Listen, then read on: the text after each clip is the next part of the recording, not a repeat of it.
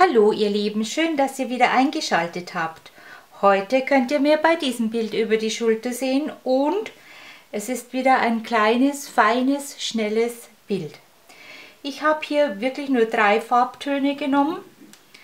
Das ist das Gelb, das Türkis und das Blau. Und ja, ich finde es so richtig, richtig schön, zart, ja, wieder mal Türkis, Blautöne, ich liebe das. Und es sieht aus, als wären lauter kleine Segelboote am Wasser. Komisch, ne? Was da so alles entstehen darf. Ja, ich wünsche euch viel Spaß beim Zusehen, beim selbermachen, beim Kreativsein, beim Ausprobieren und über einen Daumen hoch, ein Abo und oder einen netten Kommentar von euch freue ich mich wie immer sehr. Und schon geht's los. So, hier seht ihr meine Materialien.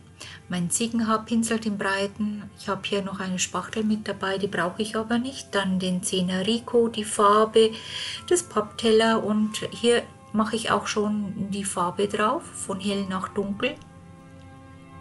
Nur so einen kleinen Klecks. Bitte nicht hinterher wegschmeißen, die Reste, die kann man wieder verwenden, wieder vermalen. Ja, und hier mache ich mit dem Ziegenhaarpinsel, male ich mir jetzt wieder, mache mir wieder Wasser drauf und lasse nur einen kleinen Streifen trocken und in den lege ich jetzt die meiste Farbe rein. Und ja, und schon geht's los. Der Ziegenhaarpinsel ist da natürlich klasse, da kann ich viel Wasser aufnehmen, habe auch wenig Kontrolle, aber das macht überhaupt nichts.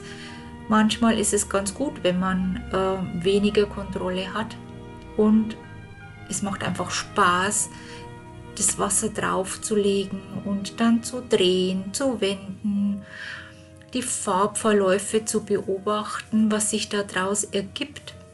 Und dann komme ich auch schon nochmal mit meinem kleinen Rico, mit dem Zehner, mit dem male ich also total gern, den habe ich auch schon sehr, sehr lange. Und das mache ich so lange, bis mir wirklich gefällt. Gehe nochmal mit der Farbe etwas rein. Nimm noch etwas weg mit dem Ziegenhaarpinsel. Leg hier wieder Wasser drauf. Und der ist richtig, richtig gut. Also ich bin begeistert. ich habe ihn erst vor kurzem äh, mir gekauft. Aber der ist klasse. Ja,